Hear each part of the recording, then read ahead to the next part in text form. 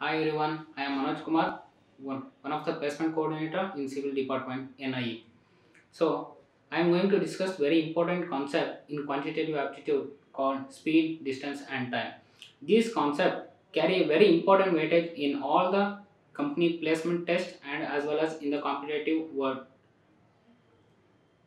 Here I am going to solve the speed, distance, time concept very by using very simple tricks and tips. So carefully observe whenever the whenever we saw the speed distance time problem first we need to write down y. So here I am going to solve the each and every question by using a trick called y of DST technique. So here first you write down the y and in the top we need to write the d. So why I am using this concept means because all we all know the formulas very well but in the aptitude test we are going to con- you know uh, what in the in that pressure we are going to misuse the formula and we are going to get the wrong answers. So here by writing the y and writing the d in the upper portions. How to remember this uh, d?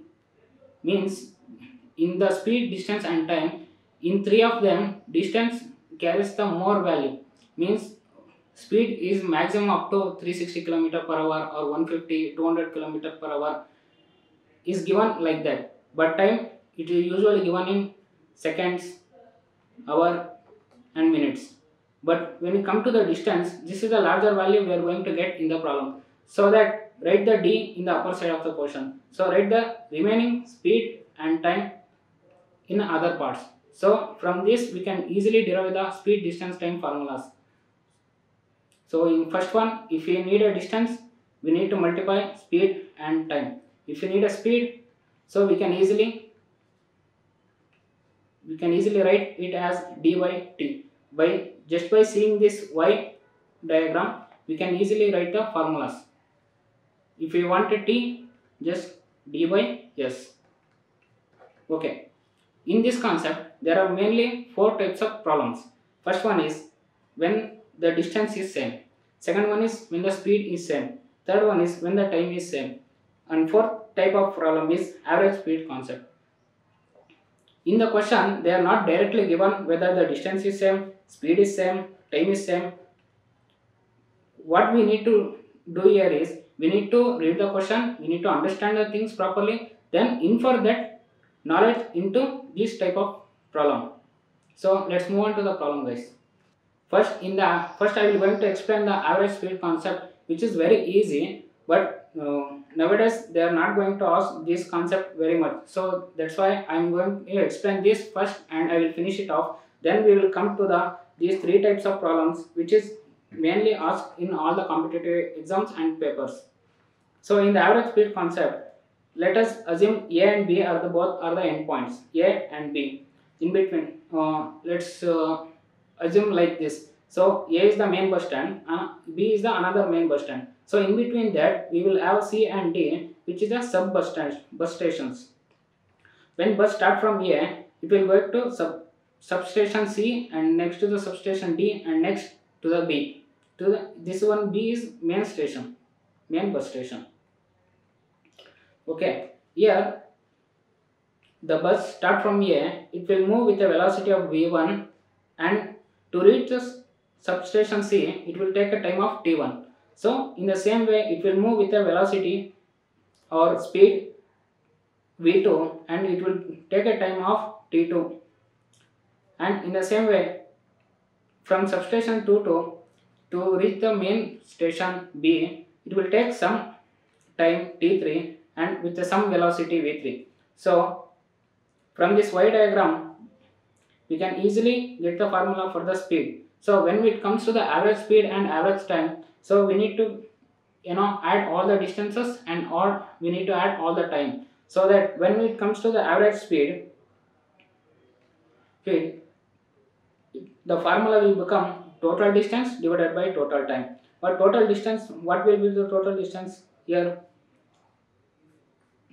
Here in this problem it travels with v1 velocity with a distance of d1 and in between this the distance is d2 in between d and b the distance is d3 if you add the distances d1 plus d2 plus d3 you will get a total distances. So if you add time t1 plus t2 plus t3 you will get the total time. So that the average speed will become total distance divided by total time so here what? The d1 plus d2 plus d3 will give the total distance divided by total time. T1 plus t2 t3 will give the total time t. This can be easily solved in all the exams. So coming to the main three types of so, problem we will going to understand this concept by solving the problem. Coming to the problem number one the boy increases his speed 9 by 5 times of his original speed by doing so, he reaches the school 30 minutes early before the usual time. So, how much time does it take usually? This is the question they have given. Now, here we need to put a y diagram down. So, is y of d s t. So, here what? The y increases his speed. Here we need to know what quantity is remaining same or what is going to change. Here the speed is changed. Okay so the speed is changed and the time he reaches the 30 minutes early in the second case. So time is, is also going, going to change. But the distance here, the distance what the boy um, from his school to house, the distance between the school and house is going to remain constantly. So we need to write d in the first case, d in the second case. In the first case, what the boy do? Boy traveling with his usual speed that is s1 and with a distance formula is will become one distance is equal to speed into time. So this is i am writing here now. So speed into time usual time t1 so in the second case what you will do? You will increase the speed 9 by times of original speed. So let me write in the speed in the second case as s2 and time is t2 so in the second case by what by will do? 9 by 5 times of usual speed. You will increase us. Okay then time e reaches 30 minutes early. So here s1 and s1 will get cancelled and 5 t1 is equal to 9 t1 of minus 270 so from by solving this we are going to get t1 is equal to 67.5 minutes. Okay friends let's move on to the second problem in speed distance and time. Okay here here the question says Ramesh sees the thief at a distance of 80 meter and he started chasing the thief who is running at a speed of 5 meter per second and Ramesh is chasing with a speed of 7 meter per second. How much distance does thief cover before the Ramesh catches him? This is a very famous question thief and police problem so we can solve very easily right now. Okay. Let us say this is the position of the Ramesh who is a police. Now let us say this point is B is the position of thief. Okay. When Ramesh sees the sees the thief, he started running. So he started running here. So then what what is his speed thief speed? He running at 5 meter per second speed. So what police did? He started chasing him. So his, his speed is 7 meter per second. So what is our inference here? So using y of dst formula. So um, here the speed is different. Okay. Well, thief is running at 5 meter per second and police is running at 7 meter per second. What is what about the distance here? Distance what thief covers the this much distance only, but police covers this distance plus this distance.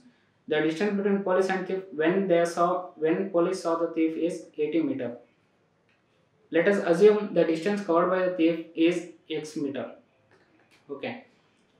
Now distance is also varying, but speed is also varying, but the time here is same.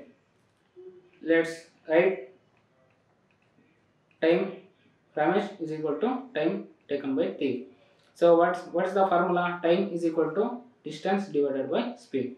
So distance traveled by Ramesh, time and then speed of Ramesh is equal to distance traveled by thief and speed speed of thief. Here what they have given, they have given both the speed here.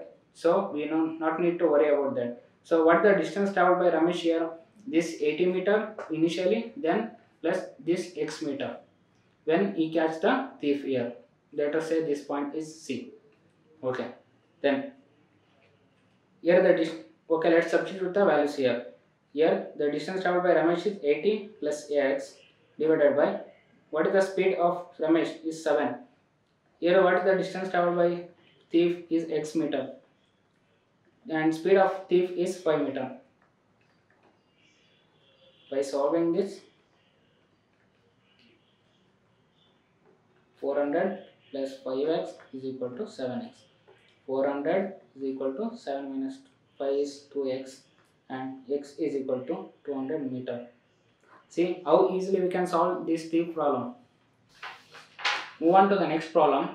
Problem number 3 in speed distance time. So here Ajay and Vijay travel from A to B. So Ajay, this is the point A and this is the point B. Ajay and Vijay, they're traveling, they started the traveling at the same time. What Ajay do? Ajay traveling with a speed of 17 km per hour. And Vijay traveling speed is 19 km per hour. From here we can directly know that the speed of the Ajay and Vijay is different. By writing y of dst formula, speed of the Ajay and Vijay is not same, is differ. But the distance covered, oh okay, let's read the question completely here. The distance between the two points that is A and B is 72 km. Vijay reaches the point B first and he returns immediately and meets the Ajay at point C. So what Vijay do here? Vijay travel from A to B first and he return back and he meets the Ajay here at point C. Somewhere we don't know that this distance C to B. So let's take this distance as X. Okay. So from this we can easily know that the distance traveled by Ajay and the distance traveled by Vijay is completely different. So distance is also not same. But here the time is remains same. So use this formula. T of Ajay is equal to time taken by Vijay is same. So what's the time? Time is equal to distance by speed. So this is the distance traveled by Ajay and speed of Ajay. The distance traveled by Vijay and speed of Vijay. But the distance traveled by Ajay is 72. 72 is the total distance here. And this is the x distance here. Well, Ajay traveled this much only when Vijay meets him. So, travel 72 minus x divided by what is the speed of Ajay is they have given was 17 is equal to distance traveled by Vijay is 72 this dist Vijay what, what Vijay do here? Vijay travel from A to B and then return back and he meets the Ajay at point C. So he travels 72 this distance plus x distance this distance. So 72 plus x divided by 19 by solving this you will going to get x is equal to 4 kilometer. Here the 72 is in kilometer. That's why the x value will also become in kilometer. So this ends the speed distance and time concept. Thank you